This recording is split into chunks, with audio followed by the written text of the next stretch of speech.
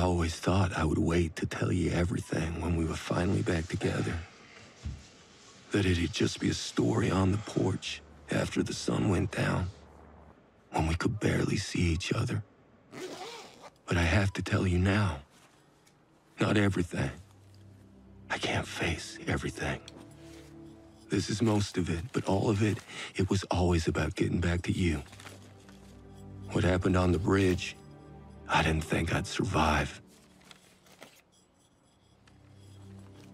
And I woke up in a military hospital.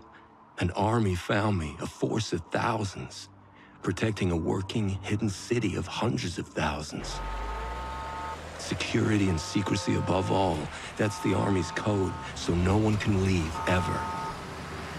The city governs itself, completely separate from the military, but it follows that one rule, that law from outside the walls. The people they rescue, they work in the outskirts, killing walkers for energy, or growing food, or managing the water, of the waste.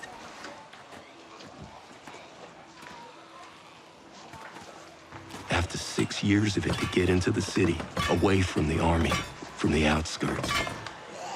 They're called consignees. I was one of them, but I was never gonna go in. I was gonna get away. Was gonna get back to you. God damn it. I was.